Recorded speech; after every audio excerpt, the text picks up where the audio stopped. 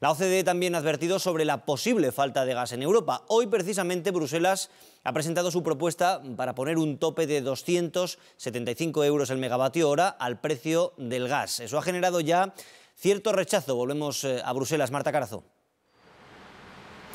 Sí, entre otros el rechazo de España. La vicepresidenta Teresa Rivera ha sido muy clara. Dice que ni el mecanismo elegido por la Comisión, ni ese umbral de los 275 euros, ni las condiciones que se tienen que dar para que se aplique van a resolver, dice textualmente, nada. Y lo cierto es que esta propuesta no ha tenido demasiada buena acogida. ¿Por qué? Pues porque el escenario que dibuja Bruselas para que se aplique realmente ese tope del gas es bastante, dicen, exigente. Es decir, que el precio del gas esté por encima de los 275 euros durante dos semanas y que además establezca un diferencial concreto que apunta sobre el precio del gas natural licuado no ha ocurrido nunca, ni siquiera en los peores momentos del mes de agosto. Por lo tanto, para muchos países esta propuesta es en realidad inaplicable y además Bruselas plantea bastantes salvaguardas para retirar ese precio límite si lo cree necesario. Así que el Consejo de Ministros de Energía del jueves se prevé ya eh, desde ahora tenso porque la Comisión se va a encontrar sin duda con muchos países enfrente que están en contra de su propuesta.